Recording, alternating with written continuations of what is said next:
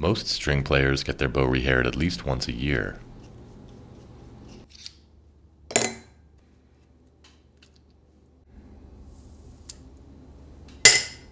You typically have to take your bow to a luthier or a bow specialist because it is a fairly involved process.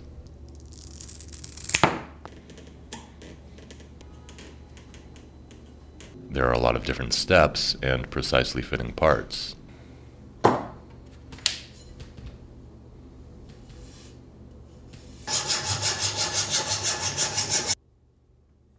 Each plug has to be cut perfectly or else it can throw everything else off. I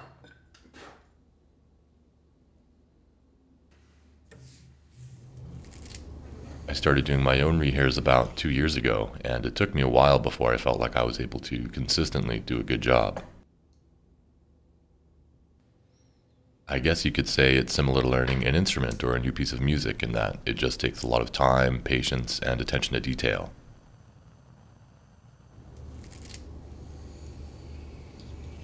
You have to be kind of obsessive about it.